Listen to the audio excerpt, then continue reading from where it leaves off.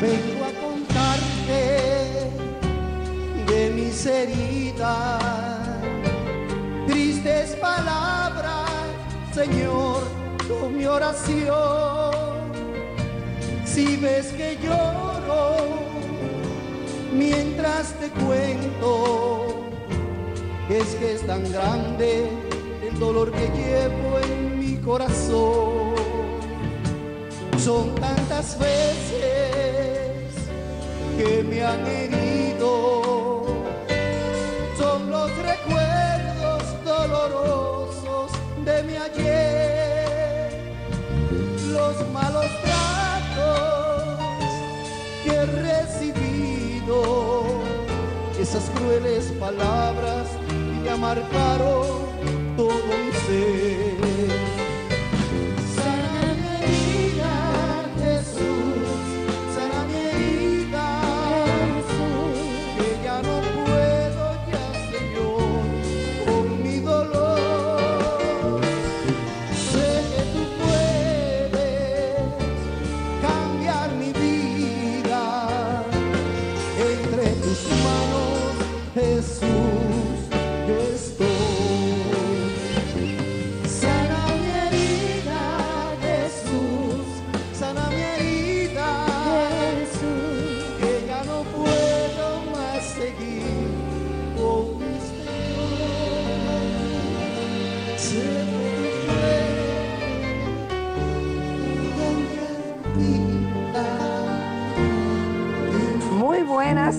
Noches.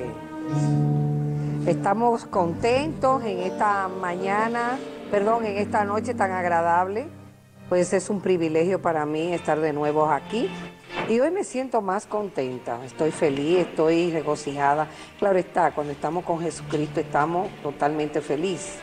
Pero nunca me imaginé que para este tiempo yo iba a estar con una persona que es tan importante en mi vida. Eh, tú dirás, ¿y por qué será? No solamente porque es hermana en Cristo, sino porque también es mi cuñada, la esposa de mi hermano. Y hoy, para este tiempo, el Señor nos permitió a mí y a ella estar unidas en este mismo sentir, hablando de Jesucristo. Aquí está la pastora Beris Castellano, mi amor. Bendiciones. Amén. ¿Cómo te sientes, ti. hermana? Muy bien, feliz. Y aquí estoy felicitándote Gracias. porque veo que estás creciendo. Amén. Y esa es la voluntad del Señor. Y aquí estamos, aunque pueda generar alguna controversia, pero qué bueno Sí. que en espacios como estos podemos sacar un tiempo para que aquellos que necesitan escuchar una palabra que venga del corazón de Dios para su vida, Sí. pues la reciban. Y qué bueno que eres una mujer valiente, eres una Débora, que estás luchando y estás peleando ese, ese lugar que te corresponde pelear en el reino de Dios, porque para eso has llegado tú en este tiempo al reino. Así que tú eres una Esther, vamos hacia adelante. Gracias, gracias, de verdad que es una bendición. Cuéntame de ti. Te- veo que hay muchos planes en tu vida últimamente también. Eres una mujer sin límites. Bueno, yo creo que Nelson Javier se va a tener que cuidar porque doña Loli está fuerte. Sí, No, bueno, verdad. sí, hay muchos planes. Estoy muy contenta y agradecida del Señor porque en este año eh, vamos a estar compartiendo en Mujeres Sin Límites, en la conferencia No es lo que veo, es lo que creo, el próximo viernes 5 de octubre y el sábado 6 de octubre aquí en Santiago. El, Sí. el viernes será en San Bill, en Santo Domingo. Y bueno, estamos ahí, vamos a estar en compañía de otras pastoras, de la pastora Francia Arias, de la pastora eh, Lidia Pérez de, de Puerto Plata y la pastora Omaira Fon, Oh, sí, que Puerto también Rico. viene de Puerto Rico, Sí, sí. y con Patti Tamares. Ah, sí, bueno, excelente. y tú sabes, ahí vamos a estar con el equipo de Pura Vida, No, no, no, eh, siendo de bendición y también siendo bendecidos porque todos vamos a Así recibir. mismo, siempre se recibe. Claro que siempre se recibe. Bueno, vamos a tratar un tema maravilloso. Me, esa palabra, como qué sé yo, ¿qué es eso? Amor exagerado. Sí, hay amores exagerados. Ay, hay ay, amores ay. exagerados y precisamente en estos días en que nosotros sabemos que se celebra pronto ya el Día de la Biblia, el Día Nacional de la Biblia, que es el 27 de septiembre. Así es. Entonces, ¿por qué no resaltar lo que esta bendita palabra nos da? Sí. Y también porque lo- las cosas que están sucediendo hoy día nos, nos hacen pensar ¿qué explica? ¿Qué explicación tenemos de algunos fenómenos que no nosotros decimos, pero ¿por qué pasan estas cosas? Los suicidios, Sí. los homicidios, la- los feminicidios, eh, ¿por qué ha, ha crecido tanto el asunto de esta, este conflicto de la, alrededor de la identidad de género? Y hay una litis y un, y un asunto espiritual muy intenso. ¿Qué es lo que está pasando? Sí. Aunque usted no lo crea, esto tiene que ver con el amor. ¿Cómo? Sí, tiene que ver con el amor. Porque la Biblia nos habla de que hay diferentes tipos de amores. Entonces hay un amor que no nos corresponde a nosotros eh, inclinarlo hacia las personas y las criaturas. Y creo que los seres humanos, sin darse cuenta, o como diría un comediante famoso, sin querer queriendo, Sí. lo está desviando, que es el amor que debemos tenerle a Dios, y lo está desviando hacia otro lugar y, y hacia otras personas, y por eso estamos acarreando consecuencias. Ok, tengo dos preguntas. Vamos a empezar una. ¿Cómo nos pide Dios que amemos? Mira, la Biblia nos pide que amemos de la siguiente manera. Así mismo le dijo Jesucristo a un fariseo que se le acercó y le preguntó, ¿cuál es el primer y grande mandamiento? Y el Señor Jesús le respondió. En Mateo capítulo 20 22, versos 37 al 38, le dijo, Amarás al Señor tu Dios con todo tu corazón y con toda tu alma y con toda tu mente. Este es el primero y grande mandamiento. Y el segundo es semejante. Amarás a tu prójimo como a ti mismo. Así que esta es la manera como Dios espera. Tú sabes que hay clasificaciones de amor, que la encontramos por ahí, por la moraga, peleros, el filial. Pero la clasificación que el Señor hace aquí nos está hablando de que hay un amor para nosotros darle a Dios, uno para nosotros darnos a nosotros mismos y otro para nosotros dárselo al prójimo. El amor de Dios se llama adoración. Adorar es amar de una manera exagerada o extravagante. Sí, Un amor exagerado. ¿Por qué decimos exagerado? Porque es un amor que implica una entrega total, un rendimiento. Es donde tú te niegas para que el otro se haga dueño de ti totalmente. Entonces eso es adoración. Y ese tipo de amor solamente se lo podemos dar a Dios. Amén. Dice la palabra, al Señor tu Dios adorarás y a Él solo servirás. Sí. Solo a Dios podemos adorar. ¿Qué está pasando hoy? Que los seres humanos se están adorando a sí y adorando a otro. Al adorarse a sí mismo, entonces distorsionan el orden del amor de Dios. Y entonces imagínate tú que yo como mujer, en vez de adorar a Dios, adore a mi esposo.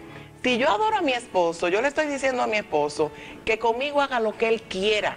Le estoy entregando todo, mi voluntad, mi todo, mi esencia, todo, porque eso es lo que hay que hacer con Dios. Pero si yo se lo hago a un hombre, un hombre no tiene la capacidad de administrar esa calidad de amor.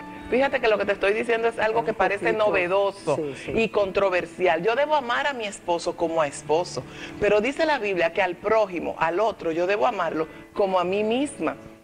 Entonces el amor que yo me tengo que tener a mí misma es un amor de valoración, de valorar lo que Dios ha hecho por mí. Tú tienes que valorar lo que Dios ha hecho por ti, para qué Dios te trajo aquí. Pero jamás tampoco tú debes de idolatrarte y ponerte tú como si tú fueras Dios. La mayor, en los mayores casos de depresión vienen relacionados a ese amor, a ese ensimismamiento, ese amor por uno mismo que traspasa el límite de amar.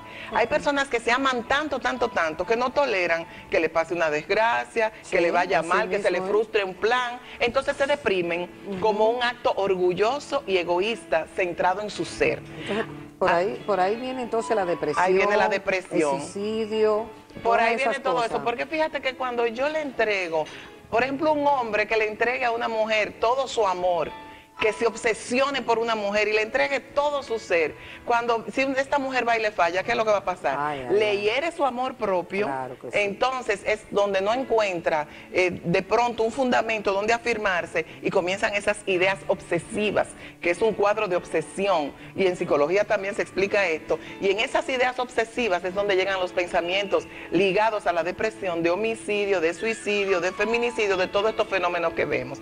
Así que es muy riesgoso uno poner la adoración en el corazón de uno hacia personas. Este pueblo tiene que corregir y nosotros como seres, el término de decir yo adoro a mi madre, yo Ah, adoro a mi marido, yo adoro a mis hijos, no.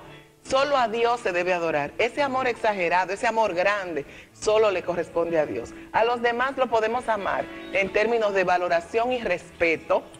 Y también de nosotros poder, además de dar la valoración, nosotros hacer un, un cuadro empático de ponernos en el lugar del otro y tener compasión. Pero jamás debemos darle adoración a las personas. Eso yo lo considero como una persona que está idolatrando, ¿no? Eso es idolatría. ¿Tú, tú lo diste ahí mismo. Exactamente. Es idolatría. Cuando yo te pongo a ti como mi hermana, mi cuñada, lo que tú eres en mi y yo te Sí. pongo en un plano de adoración, te estoy poniendo en el lugar que le corresponde a Dios.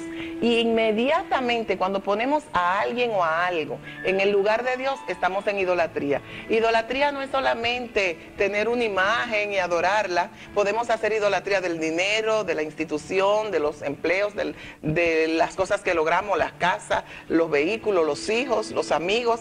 De todo podemos hacer una idolatría si lo amamos con el amor que le corresponde a Dios, que es el máximo amor que se llama adoración. Señores, para que tú veas. O sea que hay muchas personas que, ¿verdad? Cuando escuchamos personas que hablan de eso, yo adoro a mi esposo, él es lo máximo en mi vida, o a mis hijos, ¿verdad? O a mi mamá. Y por eso Estamos- cuando ese esposo le falla o ese hijo Sí. le falla, Ahí a una viene- depresión. Y de esa depresión quiero, me quiero morir, yo no sabía que esto me iba a pasar, porque le diste adoración. A los seres humanos se le da amor, se le da comprensión, se le da valoración, pero jamás adoración.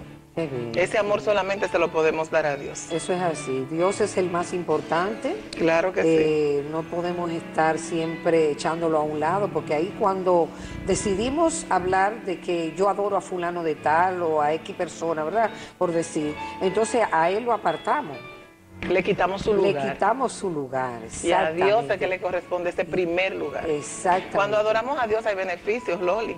Cuando ponemos a Dios en primer lugar en nuestras vidas, ¿sabe lo que pasa?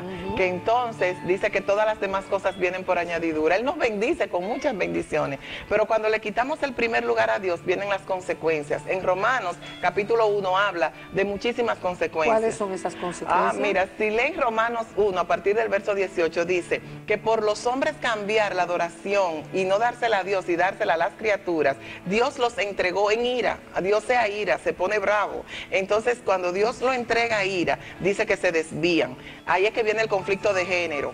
Dice tú, ¿cómo va a ser que mi hijo, criado en valores, cristiano, lo que sea, se desvió? Sí. Viene el conflicto también de las crisis, de la, de los, de la muerte, vienen las enfermedades, viene un sinnúmero de consecuencias a raíz de que tú simple y llanamente quitaste el amor de Dios, la adoración de Dios y lo pusiste a una criatura. Entonces Dios a veces permite que vienen estas cosas como una manera de, de llamarnos la atención y de corregirnos para que nosotros podamos encarrilar ese amor. Entonces la esencia del ser como ser humanos más bien es que amemos al prójimo como a nosotros mismos. Ese es el orden. Pero ¿cuál es el amor? Valorarnos y siempre nosotros poner ese amor que necesitamos, lo necesitamos porque fuimos creados para adorar. El grande, el exagerado, dárselo a Dios. A los demás le damos un amor con ciertas, eh, ciertos cuidados, sabiendo que hay un límite para amar a las personas, en el sentido de que no podemos ponerlo en el lugar de Dios. Siempre cuidemos el lugar de Dios y no se lo demos a nadie más. Qué bello escuchar eso. Cada día aprendemos más porque verdaderamente es así. Eh, solamente me cuesta decirte que gracias por venir en esta noche. Espero que no sea la última vez que estemos aquí tú y yo. No, claro que no. Yo espero que también tú nos acompañes el Sí. próximo sábado 6. Claro, estaré En ahí, el claro Santiago sí. Country Club. Ahí estaremos en Mujeres Sin Límites y también tenemos una primicia. Ajá, ¿cuál es esa La primicia? primicia es que estaré publicando mi segundo libro. Ah. Ahí estaremos. No sé si Casey trajo a producción la portada. El libro se llama Paradojas. Yo soy así y tú. Así que yo soy así y tú lo estaremos poniendo allá Amén, en así un será. stand para que todos puedan eh, adquirirlo y llevarse la primicia y hablaremos un poquito de eso, de la esencia del ser y de esa identidad que necesitamos tener. ¿Cómo tú eres? Yo soy así como. Si lees el libro lo vas a saber. Bendiciones a ustedes, pues buenas noches. Eh, que Dios me lo siga bendiciendo. Ya saben muy bien, el amor de Dios está primero. Dios me lo bendiga.